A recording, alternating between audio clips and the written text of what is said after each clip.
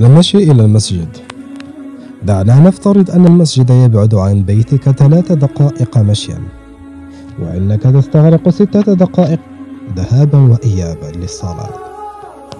أن تصلي الخمس صلوات في المسجد هذا يعني أنك تستغرق كل يوم ثلاثين دقيقة مشيا إلى ومن المسجد.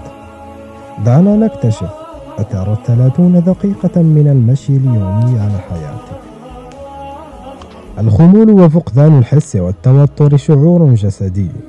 عندما يتغير وضع جسدك بالحركة أو المشي تتغير الكيمياء الحيوية للجسد. فقد أشارت الأبحاث العلمية أن عملية الاستنشاق والزفير التي يمارسها الشخص خلال المشي تساهم إلى حد كبير في الاسترخاء وتهدئة الأعصاب والتخفيف من الضغط النفسي. يمكن للمشي الاعتيادي يساعد في التخلص من الكوليسترول الغير صحي في الجسم ويزيد من نسبة الكوليسترول الصحي الذي يحتاجه الجسم وهذا بدوره يساعد في الحفاظ على الوزن الصحي ويدعم الجسم باللياقة اللازمة ويمكن أن يساعد في تحسين المزاج أيضا. المشي يساهم في تعزيز فيتامين د في الدم. مما يقلل من خطر الإصابة بأمراض القلب والأوعية الدموية.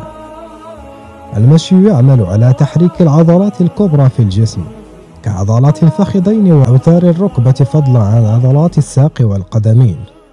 وإن تحريك هذه العضلات يساعد في توزيع الدم في الجسم بشكل أفضل ويحسن من نظام تزويد الأكسجين ويزيد من قدرة القلب والشرايين على التحمل. ويحافظ على صحة العظام ويحد من السمنة ويقلل فرص الإصابة بمرض السكري حفاظك على المشي 30 دقيقة يوميا.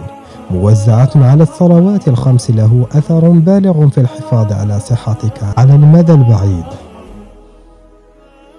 كما أنه مصدر متجدد للطاقة على مدار اليوم فالمشي يبدد الخمول والتوتر والكسل.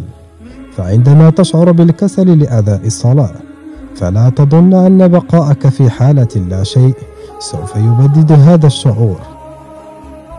ولكن قيامك وذهابك إلى المسجد مشيا هو الحل.